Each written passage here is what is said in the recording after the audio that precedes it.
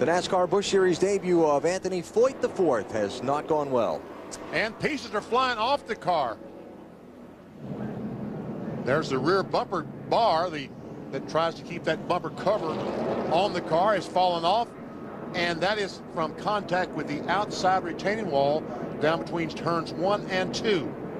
So second caution of the race is out, and we'll see if any of the leaders come to pit road. The pit lane's still closed right now.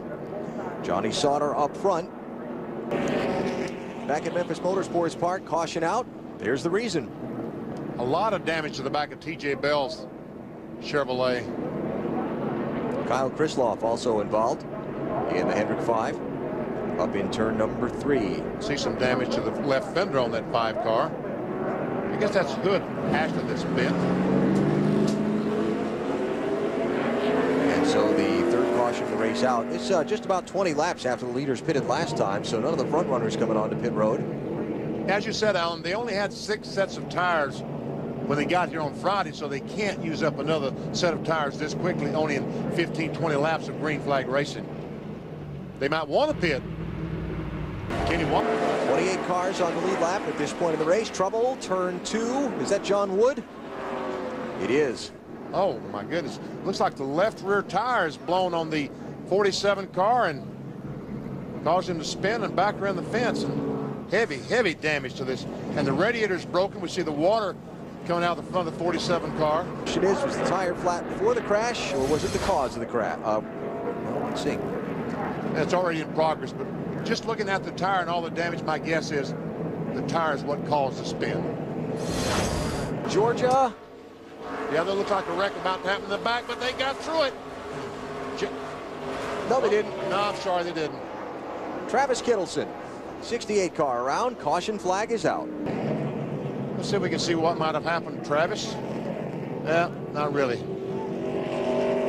But there is some damage to the right front fender. Well, it didn't come from there. Might have gotten a little help in the, in the back. That was Ron Young in the 71 car. Might have been some contact, but let's don't indict Ron Young on what I saw there. Travis, one of the drivers who was involved in that Roush Racing Gong Show, the competition to see who might get a ride in a Roush Racing truck for next season.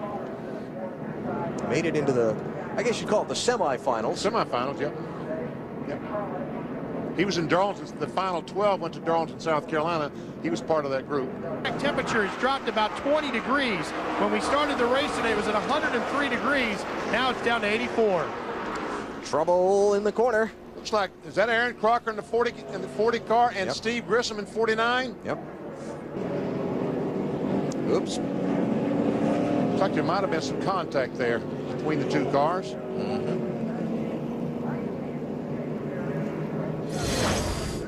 But he's not there. That's for fifth place. Just to finish that thought, thinking about him. Oh, trouble. Turn three. Reed Sorenson's in it. Jason Leffler, that's Justin Labonte in 44 going around, and we'll add about four more in the back there. We have a genuine mess off turn four. On board with Brandon Miller. It looks like that the 32 car, Jason Leffler, got in the back with 41. Yeah, got in the back with 41. The 21 car, And then it was on. Kyle Krisiloff in five is involved. Bobby East in the 46.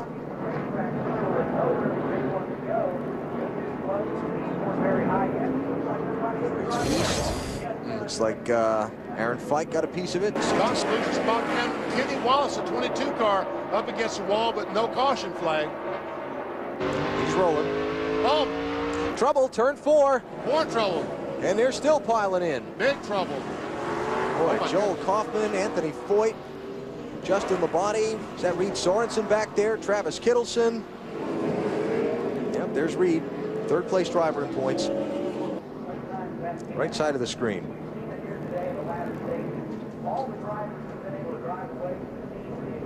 44 car, I don't, did he, did he make contact with the 21 car?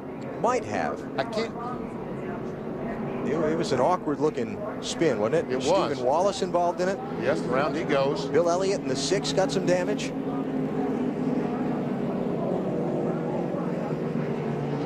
No, Justin got hit from, from Bob behind. from behind by the 12 car. Yep. And Stephen Wallace made contact to the inside wall as well. Now watch this. Bang.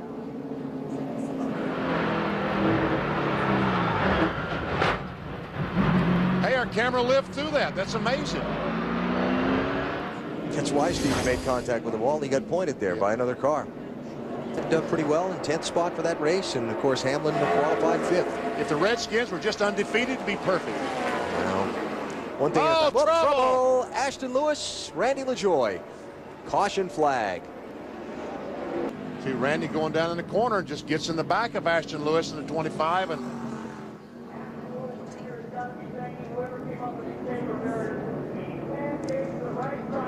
Well, you'd like to think there that uh, Randy had a little brake trouble. But looks like the 32 car. Man, he just goes in there and drives straight in the back of the that's what I mean. He went in there. The closing rate was so fast. You'd like to think that he had a little brake trouble there. Looks like the 32 car of Jason Leffler also got some help.